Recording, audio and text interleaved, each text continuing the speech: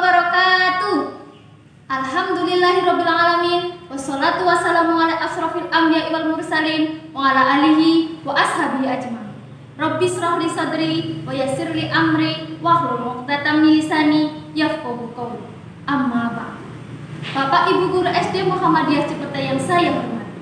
Bapak dan Ibu Wali Siswa SD Muhammadiyah yang saya hormati Dan anak-anak SD Muhammadiyah Cipete yang bu guru sayangi Puji syukur kehadirat Allah Subhanahu wa taala yang telah melimpahkan begitu banyak nikmat kepada kita semua.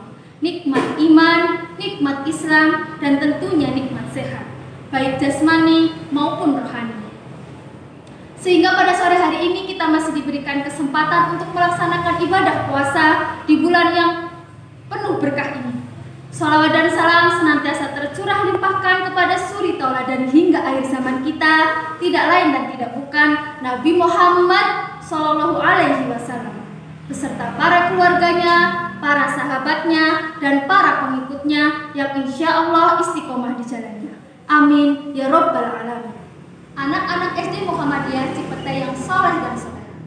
Allah mengutus Rasul sebagai nabi dan Rasul sekaligus menjadi uswatun hasanah bagi seluruh manusia. Allah berfirman, Laqad kana lakum fi Rasulillah uswatun hasanah. Yang artinya Sungguh telah ada pada diri Rasulullah suri tauladan yang baik bagimu. Quran Surat Al-Ahzab ayat 21 Banyak sekali contoh keluhuran dari akhlak Rasulullah sehingga amat pantaslah kita jadikan Rasulullah sebagai idola kita, sebagai tauladan kita dalam segala aspek kehidupan. Salah satu cara meneladani Rasulullah adalah dengan mencintai Rasulullah. Diriwayatkan dari Ibnu Abbas radhiyallahu anhu. Pada saat sebelum Rasulullah wafat, Rasulullah meminta Bilal bin Rabah untuk memanggil seluruh sahabatnya menuju masjid. Kemudian Bilal bin Rabah memanggil seluruh sahabatnya dan berkumpullah sahabatnya di masjid. Para sahabatnya merasa sedih dan rindu melihat Rasulullah dalam keadaan yang sakit. Rasulullah duduk lemah sambil menahan sakit. Rasulullah kemudian berkata, Sesungguhnya saya ini adalah nabimu, pemberi nasihat dan dai yang menyeru manusia ke jalan Allah dengan izin. Siapa yang merasa teraniaya olehku di antara kamu hendaknya bangkit sekarang untuk melakukan kisos kepadaku sebelum hari kiamat. Kemudian tidak ada satupun sahabat yang merasa teraniaya oleh Rasulullah sampai Rasulullah mengulangi tiga kali pertanyaannya. Pada saat tiga kali, ketiga kali pertanyaan itu diulang, tibalah berdiri salah sahabat Nabi yaitu Ukasyah sambil berkata, Dulu aku pernah di medan perang bertemu denganmu ya Rasulullah, sehingga untaku berdampingan dengan untamu. Kemudian engkau mengangkat cambuk dan memukul untamu. Tapi sebenarnya engkau telah mencambukku. Mendengar hal tersebut, Rasulullah meminta Bilal bin Rabah untuk mengambil cambuknya yang ada pada putrinya, yaitu Fatimah. Karena kecintaan yang begitu besar dari para sahabatnya, sahabat merasa sedih, tidak tega melihat Rasulullah akan dicambuk oleh Ukasya. Mereka bergantian maju dan ingin menggantikan posisi Rasulullah yang akan dicambuk. Namun Rasulullah melarang hal tersebut.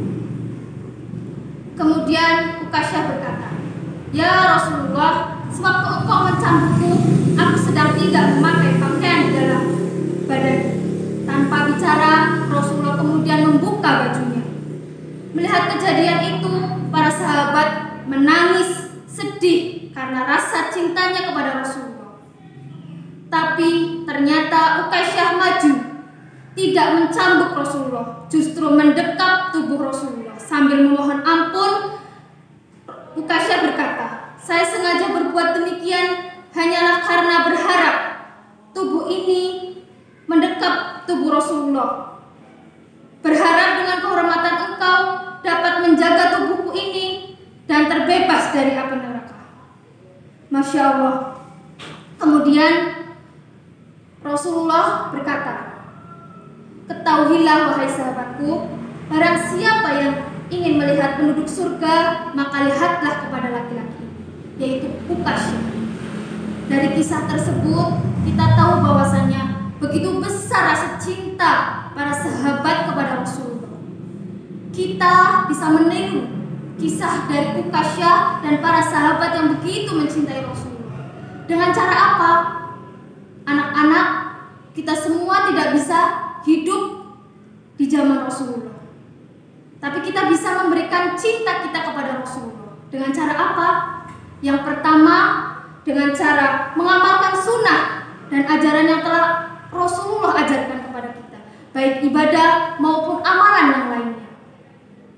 Kemudian menjadikan Rasulullah suri tauladan, contoh yang baik bagi kehidupan kita. Kita tiru akhlak yang begitu baik dari yang beliau ajarkan. Berbakti kepada orang tua, memberikan kasih sayang terhadap sesama tanpa melihat itu orang baik ataupun jahat kepada kita. Selalu bertutur kata dengan lemah lembut, tidak pernah menyakiti hati orang lain. Dan Rasulullah juga mengajarkan kepada kita untuk selalu berbuat jujur dan selalu sabar dalam menghadapi cobaan. Selalu pantang menyerah dan selalu berjuang keras. Demikian kultum yang dapat Bu Guru sampaikan semoga bermanfaat. Semoga anak-anak dari SD Muhammadiyah Cipete selalu menjadi generasi yang cinta akan Rasulullah, selalu meniru akhlak yang diajarkan oleh Rasulullah. Akhir kalam, Apabila banyak kesalahan Bu Guru mohon maaf. Wabillahi taufik wal hidayah. Wassalamualaikum warahmatullahi wabarakatuh.